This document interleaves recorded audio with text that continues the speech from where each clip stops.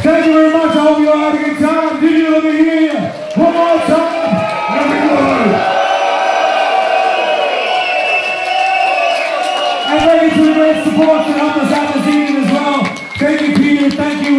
To the club.